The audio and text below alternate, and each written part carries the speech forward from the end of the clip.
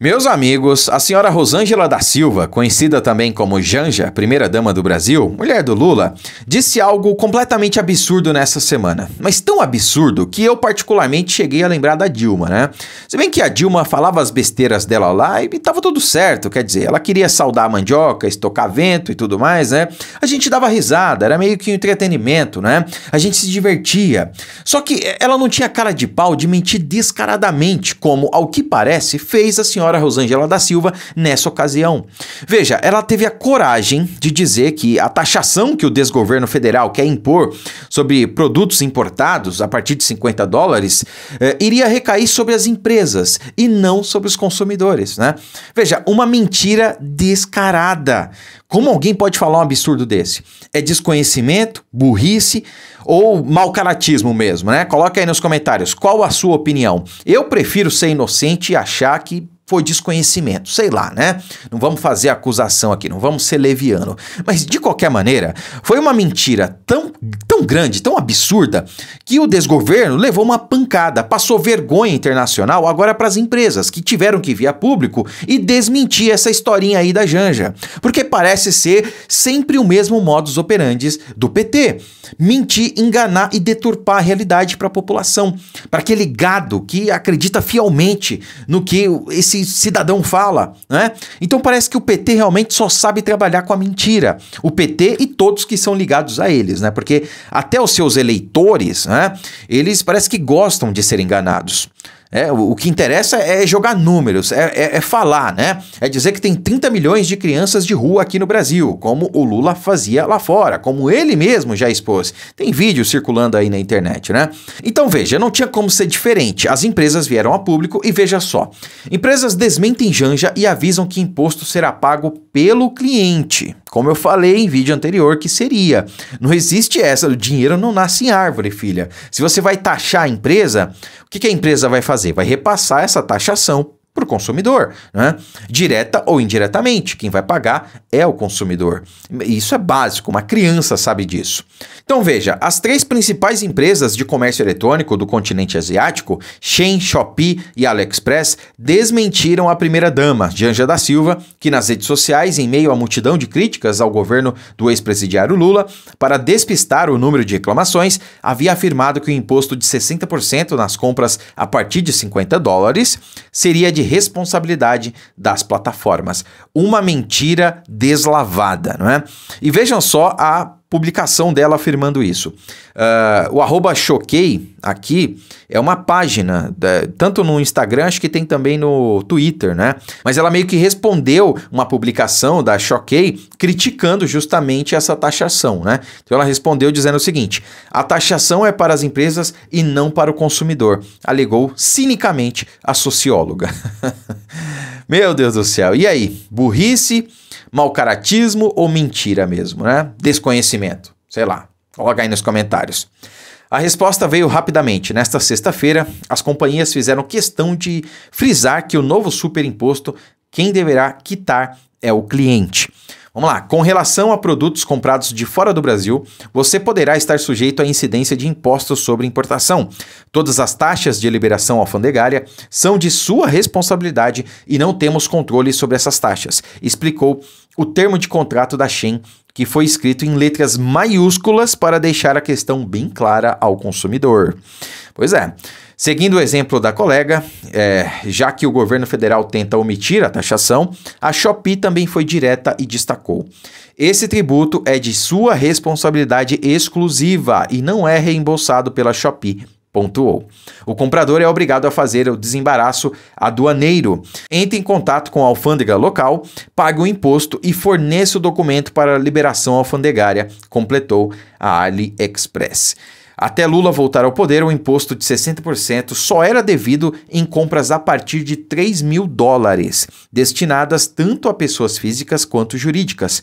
Com o retorno do PT ao comando do Brasil, a alteração foi drástica, passando a ser taxada todas as aquisições de 50 dólares em diante. E o PT queria taxar até mesmo é, as, as encomendas ali, os produtos abaixo de 50 dólares, tá? Eles voltaram atrás aí porque viram que ia pegar muito mal. De qualquer maneira, meus amigos, isso aqui é um completo absurdo e agora o desgoverno passa uma vergonha internacional para empresas privadas que tem que desmentir aí a lambança que a senhora Janja fez, né? Ou falou intencionalmente por burrice, por desconhecimento ou por mau caratismo mesmo, não sei, mas o fato é que ela fez e as empresas tiveram que via público desmentir essa história, porque já pensou? Um monte de gente ah, vendo lá o tweet da Janja, né? Falar, ah, não, se é a Shopee que vai pagar, então vou comprar. Aí vai lá, compra, né? Inocentemente, acreditando né, numa figura pública, que é a Janja, e cai no golpe, né? Aí a Shopee vai lá e, e responde, ô, filhona, você tem que pagar imposto aí, tá? Não sou eu que vou te reembolsar, não. Né? A pessoa lá toda feliz, contente, saltitante, né? Não é o Randolph, não compra um produto na Shopee, na AliExpress, quando chega aqui fica preso na alfândega.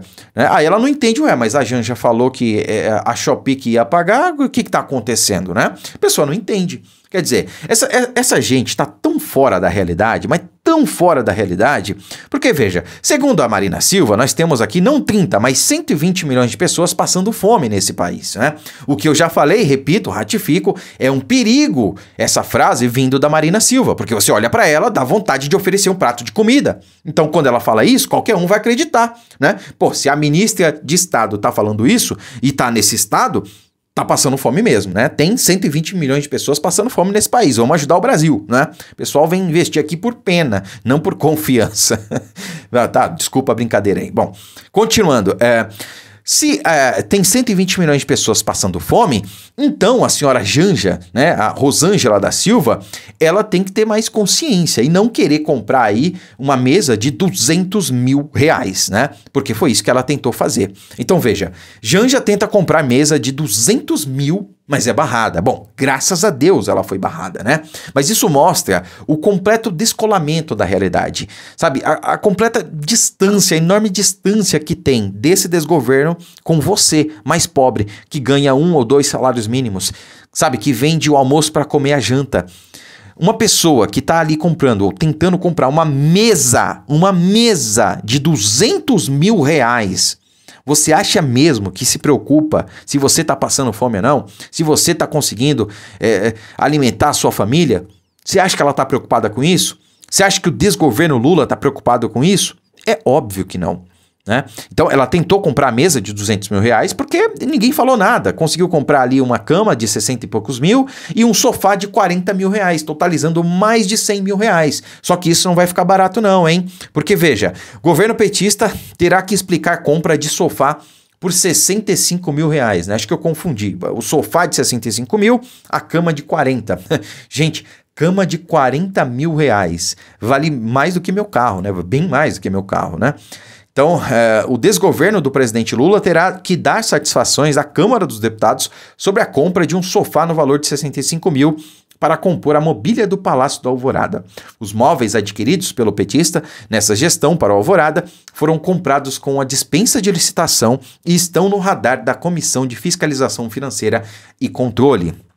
A ministra da Gestão e da Inovação, Esther eh, Dweck, né, foi convidada nesta quinta-feira para prestar esclarecimentos no colegiado. Se não comparecer, o status da solicitação da solicitação poderá evoluir de convite para convocação.